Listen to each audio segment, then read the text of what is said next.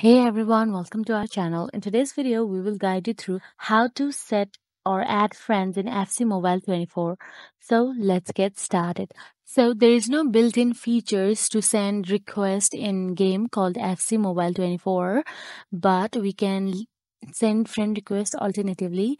Uh, so to do that, you need to know the username of the player you want to send friend request to, and you can just go to the uh, this icon in the FC Mobile and you will get this option available here and all you have to do is type the username in the search bar and you can just send them friend request.